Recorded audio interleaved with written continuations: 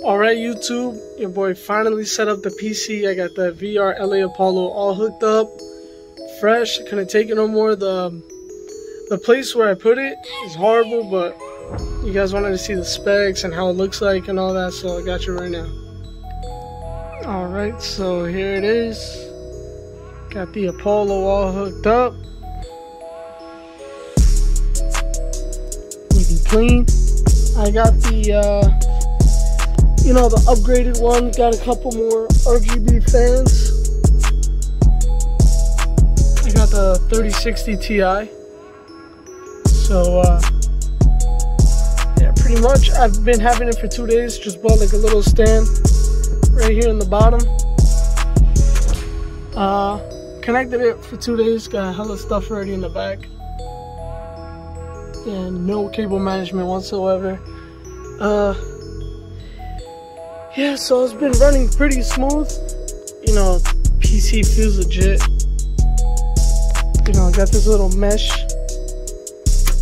thing up here. And uh, power button, 3.0 USB. It's really quiet, like I don't hear it at all.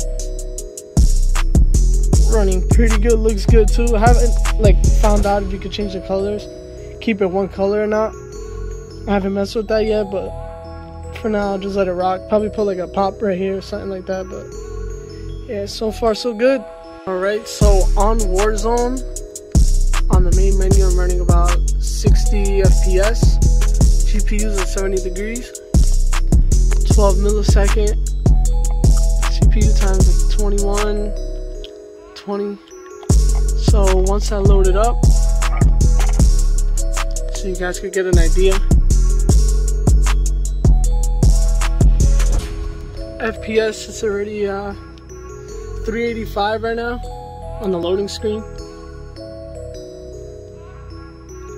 You know, it's just hovering around the threes.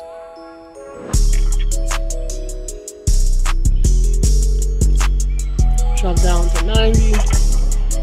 We're holding for deployment. Now's a good time to warm up. So it's pushing like 105, 104.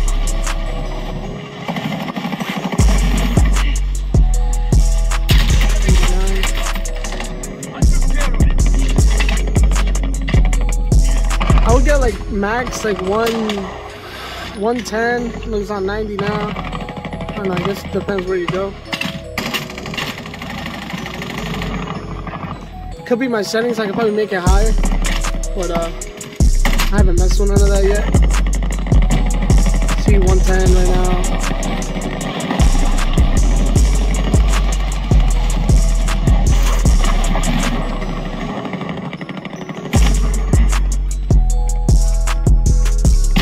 Yeah, so not bad.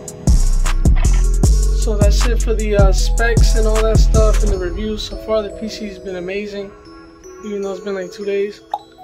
And uh, I'm gonna have all the specs in the description below. So, yep, that's it. Peace.